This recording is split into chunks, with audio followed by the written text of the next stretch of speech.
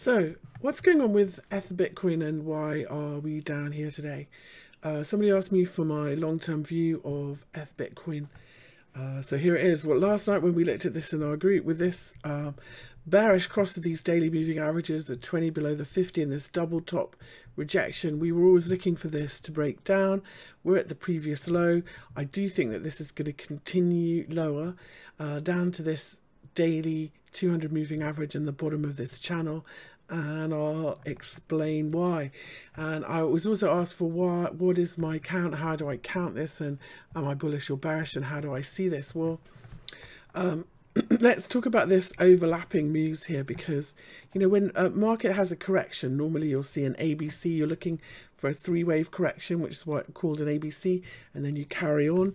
Sometimes though, the B leg, so you'll have your A leg, and your B leg will go beyond the A leg and then it'll come back, so it'll go sideways like that.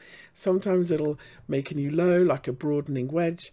Sometimes it can look like a triangle. Sometimes it can even extend to five waves, but uh, you get the picture and then it carries on. Sometimes though it'll look like this, so you'll have your uh, A leg down and then your B leg ex will extend higher and then the C leg you know will come back. And so it looks like you've just made you know you're still trending. You haven't made a correction at all and that's called a flat correction.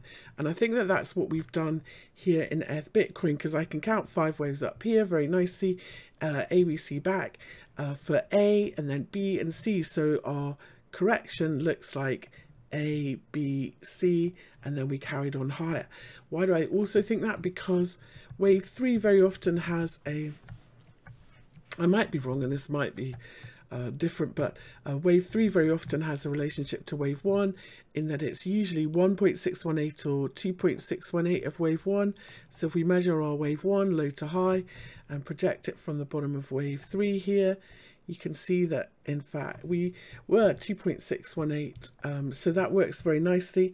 Now normally um, you would expect a wave 3 to retrace 38.2 of the rally but you would also expect it priced very often is contained in a channel and you would expect it to come back to the bottom of the channel. So if we think that this is wave 1 2 3 if you connect the top of wave 1 and 3 which I've done um, and you clone it, which I've also done, and then project it from the bottom of wave two, that's quite often where you'll come back to eventually. If I also, so this is why I'm looking for the bottom of the channel, the 200 moving average. It's also, if I put my fibs on all the way from the bottom here, um, you know, very often markets come back to 50%. So here we are sitting at a 38.2 level at the moment.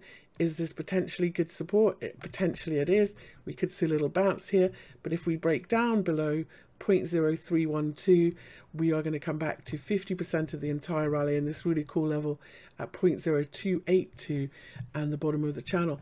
And it's a really cool level, obviously, because um, because I think, you know, we've got this um, support and resistance, this previous high and this previous low. So loads and loads adding up for us uh, uh, for massive support at 0.02829 for ETH Bitcoin. And that's why I think that we will come back there and likely overshoot this. You know, we've tried this 38.2 level twice. I think if we close underneath it, 0.0312 that it will become resistance and will likely carry on lower um, in ETH Bitcoin. So that's